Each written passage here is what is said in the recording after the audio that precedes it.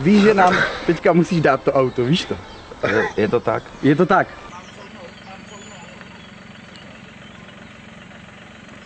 Takže čo vás nejde, vítám vás u dnešního videa. Jak již název napovídá, budeme se zabývat tématem Kazma versus Leoš Mareš. Dneska se dozvíte věci, které jste možná chtěli vědět a který spoustu z vás někde vyhledával na netu a nic nenašla. Protože já dneska přinesu informace, které celý ten, ten případ nebo kauzu objasněj a hlavně budete moc s klidnou hlavou spát. Protože viděl se spoustu lidí na Facebooku a na Instagramu, kdy z toho, z toho řeší a ve finále neví vůbec nic a jsou z toho úplně vedle. Proto jsem povolaný já, který zaúkoloval svůj investigativní tým, který tohle co celý proskoumal a našel řešení. Ve zkratce uniknul takový screenshot nebo informace, která nám v podstatě pomůže tohle to rozluštit, takže vy dneska po tohle tom videu, když to zkouknete až do konce, budete vědět, jak to celé probíhalo a jaký to bude mít závěr, protože lidi všichni přece víme, že Kazma natáčí tu svoji one man show a že tohle to nejpravděpodobněji z 99% bude jeden z dalších dílů. Ještě se to pustíme naplno, ukážu vám tady nějaký důkazy, fotky, videa, tak eh, tady nahoře mám pocit, najdete anketu, kdy teď konc budete moct hlasovat. Samozřejmě na konci zjistíte, zda jste se mýlili, nebo ta celá pravda je trošku jinak. Tady nahoře hlasujte, jestli to celý předem byl domluvený, nebo jestli to byl nějaký kazmu vtípek s tím, že vyhraje to Ferrari od Leoše Mareš. Leoš Mareš oznámil na Instagramu, že po dobu jednoho měsíce bude jezdit jenom Trabantem, takovým tím starým schnilým Trabantem, který ještě pamatují vaše prarodiče.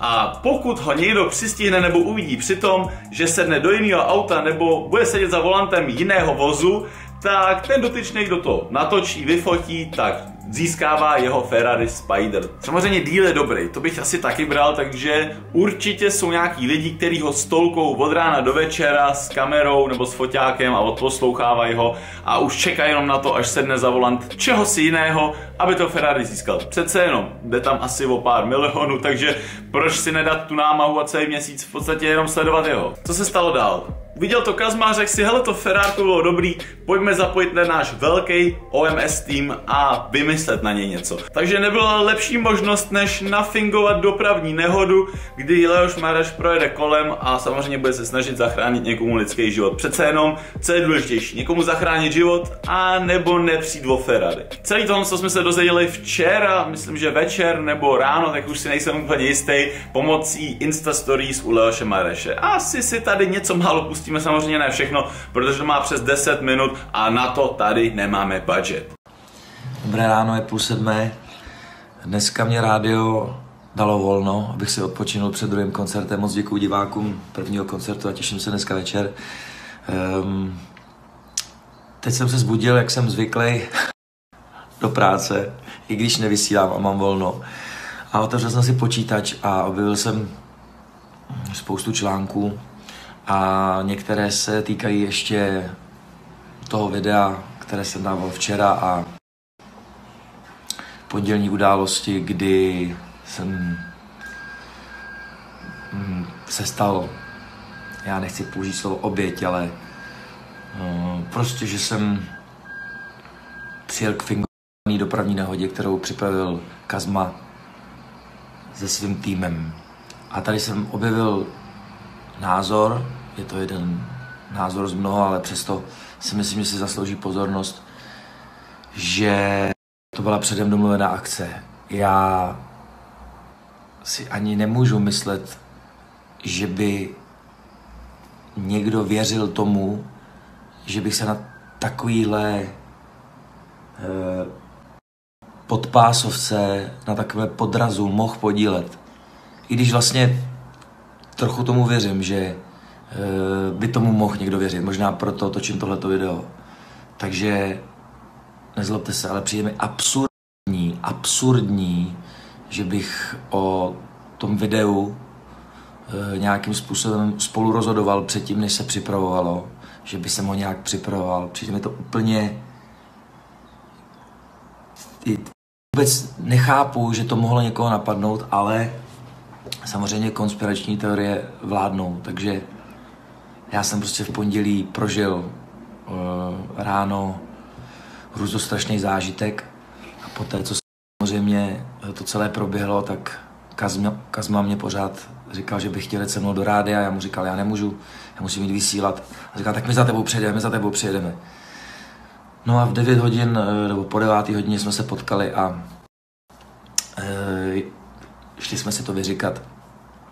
Jak už jsem uváděl dřív, Kazma mě vlastně celý den se snažil přesvědčit e, o spolupráci na týho show, že bychom měli dotočit nějaký záběry a hm, pokračovat v tom spolu. E, byl za mnou i potom odpoledne v Outu areně. Takhle jsme se dvakrát potkali a večer mi napsal sms kdy mi říká, jako strašně si mě zklamal Leoši, protože vš- my všichni tady z týmu One Man Show jsme zklamaný tím, že si nám na místě té nehody řekl, že si prohrál, že nám to auto dáváš a teď jsi to rozmyslel a tím pádem eh, s tím musíme jít my ven sami a stane se tak zítra, napsal Kazma. Tak to byla pondělní vlastně celá ta událost. Včera už žádný kontakty neprobíhaly.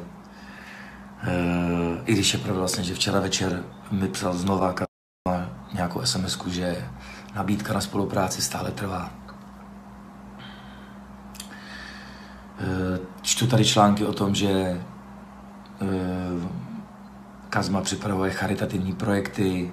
V podstatě nám tím vypráví průběh, co se stalo a jak se to odehrálo. Přijel k dopravní nehodě, chtěl pomoct pánovi a jeho manželka tam volala o pomoc. S tím, že na uchu už měla záchranku a přes tu záchranku mu řekli, hele, nejlepší řešení bude, než přijedou záchranáři, sednout si za to auto a vycovat pár centimetrů, aby ten týpek prostě mohl dejchat. Leoš samozřejmě sednul do káry, i hned zacouval, prostě hodil tam tu zpátečku, málem urval tu řadící páku a prostě se rozjel. V tu chvíli si Kazma tak levnul ruce, že si vydělal nový Ferrari a vběhnul na plac a šel ho překvapit. Všechno tohle z toho uvidíte teď ve videu, který má vlastně Kazma na svém Facebooku, který jste ještě nikde neviděli, protože nikdo z youtuberů, který vlastně včera o tom natáčel video, protože lidi, většinou ty lidi, kteří natáčí co nejrychleji na nějakou reakci, tak se většinou neověří žádné informace, nic si k tomu nenajdou a hlavně nemůžou sledovat ani ten průběh, když to vydají hned potom, když nic nevědějí. Tudíž přesuňme se od jejich spekulací tady k tomuhle důkaznímu videu.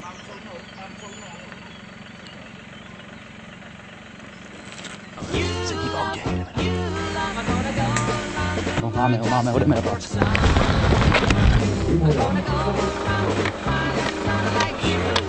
Heši, víš, co se právě teď stalo?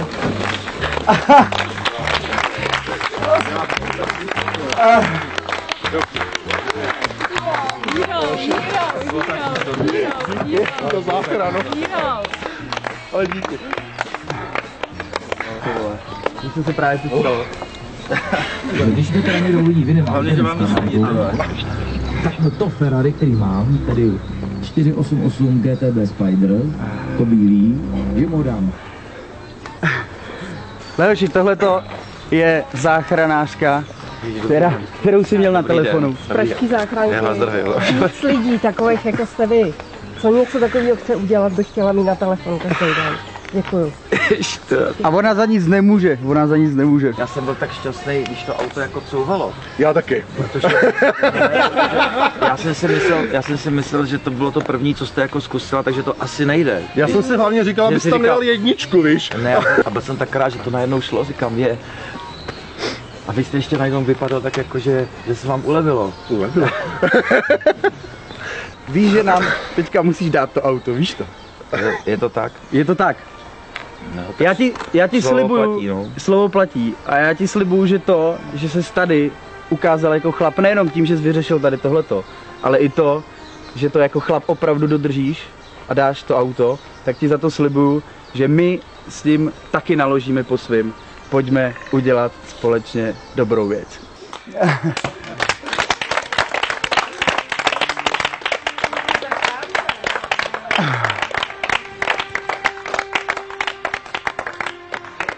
Zachoval jsi správně, udělal si dobrou věc. Jo. No jasně, že jo. Ty jsi tady teďka zachránil lidský život. Vyměnil si všechny ty prachy, to auto, za to, že se zachoval jako chlap a jako dobrý člověk. Nebo Hel- pojďme se potkat v tom rádiu, já tam pak musím do práce teďka. Tak jeď a my tam přijedem. Jo, jedem za tebou hned. Díky!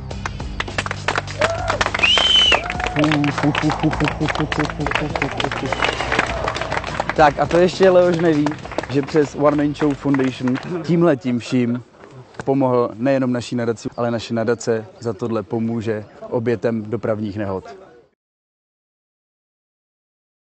Jak vidíte, Kazma vysmáte jak lečo, protože je přece jenom Ferrari a Leoš Mareš byl úplně na větvi. Nevěděl, co na to má říct, byl v šoku, takže tam jenom takhle, takhle tam jenom postával a říkal si, tyjo, jako co se to tady děje, co se tady odehrálo, právě jsem přišel o Ferrari. Po skouknutí těchto videí spoustu lidí se rozdělilo na dvě skupiny. Jedna slaví Kazmu za to, že jo, vyhrál Ferrari, tak za něho přelstil, vymyslel na něj tenhle ten podfuk, jak se hovorí slovensky, normálně mu to odjebalo gule. Druhá skupina lidí podporuje Leoše Mareše a vlastně stojí si za tím názorem, že to Ferrari neprohrál, že to byla výjimečná situace ohrožující někoho lidský život. Tudíž se domnívají, že to není fér prohrát Ferrari na základě téhle situace. Ale lidi, díl zněl jasně. Jakmile sedne za jakýkoliv auto jiné značky než tento Trabant, tak Ferrari automaticky prohraje. Teď by mě zajímalo, co si o tomhle myslíte vy. Napište to dolů do komentářů. Přišel o to Ferrari, anebo si ho má nechat, protože se tam ta situace nepočítá. Teď to tam napište, protože na konci videa možná budete překvapený, k čemu jsme dospěli. Jedna věc je jistá. Kazma v tom určitě má prsty, jelikož jste viděli sami, vydal video, že to bude jedna z dalších one man show. Lidi, a tekonc upřímně řečeno, většina z vás tekonc Kazmu nenávidí kvůli tomu, co udělal, že to nafingoval tu dopravní nehodu a že to není sranda si zahrávat takhle s lidským životem. Jenže, vemte si, On má početný tým, minimálně 20 lidí, který mu vymýšlejí nápady, pomáhají mu s realizací, celý to promýšlejí dopředu. Opravdu si myslíte, že by něco takového vymyslel a pustil do světa, aby to bylo pravý, aby pak ho všichni hejtovali v podstatě to, co se tady budoval za celou tu dobu těch one man show, aby mu to takhle zkazilo, Upřímně řečeno, nemyslím si. Dostal se totiž ke mně takový menší screenshot, který to celý objasňuje, až se samozřejmě o tom dá pochybovat, ale přečteme si ho. Povím vám, jak to je. Tu sásku s Trabantem vymyslel Kazma. Mareš dá Kazmovi Ferrari, všichni budou nenávidět Kazmu, ten následně auto prodá a peníze věnuje nadaci na oběti dopravních nehod, kterou nedávno založil. Za týden vyjde video, ve kterém se bude Kazma s Marešem držet kolem ramen a smát se nám, jaký jsme to blbci, tak to neprožívejte, nemáte zač a čau. Hm, zajímavá zpráva, ale lidi, argumentačně, vemte si, co by na to mohla být pravda.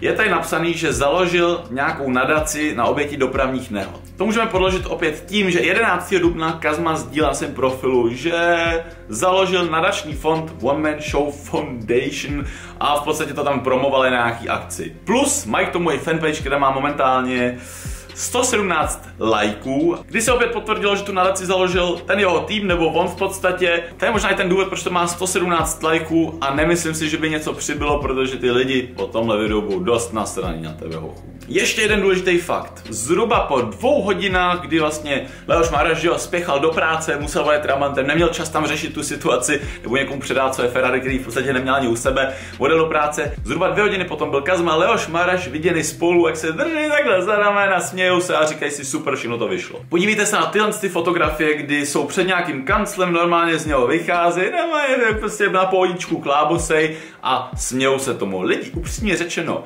Kdyby na vás někdo udělal takovýhle prank s dopravní nehodou, byli byste ochotní se dvě hodiny potom s tím člověkem takhle držet za ramena a smát se tomu? Já osobně určitě ne. A hlavně vemte si ten fakt. Leoš Mareš další den měl velký koncert někde v O2 aréně, kde určitě spoustu z vás bylo, já ne, já vůbec nevím, co to je za hudbu, já nic takového neposlouchám. Každopádně myslíte si, že by Kazma na něj udělal takovejhle, když to řeknu, prank, den předtím, než ho čeká velký koncert, na který potřebuje sílu a nemá čas se zabývat takovýma negativníma pocitama. Samozřejmě možný to je, že mu chtěl překazit ty koncert, aby v podstatě při tom zpívání nebo co on to tam vyváděl, myslel celou dobu na to, že to bylo celý fake a že prohrál Ferrari. Hlavně mám takovou informaci, že někdo se na tom koncertě v backstage zeptal, hele, jak to je, a Leoš Mareš mama odpověděl, vy smátě, ale počkej si, až Kazma vydá tu one man show, všechno se dozvíte a, a pohoda, palec, na, palec hore, jak se hovorí. Ještě jeden člověk se do toho zapojil, což je Leošova manželka a napsala na Instagram něco ve smyslu, že jsou tři hodiny ráno a místo toho, aby spali, tak řeší tu tu věc. Místo toho, aby ta ženská mlčela a hulila radši pod stolem, tak se vlastně to takhle zapojuje a celý tohle tu fake kauzu takzvaně ještě dostává mezi lidi. Takže za mě tohle je jasná věc. Lidi jsou spolu domluvený, počkejte si na tu novou one man show, tam to všechno uvidíte a potvrdí se to, co jsem tady řekl ve videu. Pokud jsem špatně, tak se můžete pak znovu po té one man show vrátit na moje video a dát tam dislike. Každopádně, pokud jste mého názoru, nezapomeňte dát like, protože tohle to jsou fakta, který jsem tady podložil, takzvaně moje odjebalo mi to gule. A ještě jednou si zamyslete nad tímhle. Opravdu by Kazmovi stálo za to, za ty léta, co si budoval tu one man show, být teď za úplného debila, kdy ho obralo to Ferrari. Samozřejmě lidi, to Ferrari pak e, prodá a dá na dobrou věc, na nějakou tu jeho nadaci ty peníze, ale za mě to není úplně dobrý marketingový tah. To prostě dalo by se to udělat líp. Za mě to celý, další díl Exposed, my se uvidíme příště videa a už zase brzo u něčeho zajímavějšího. Vy se mějte hezky a zatím čau!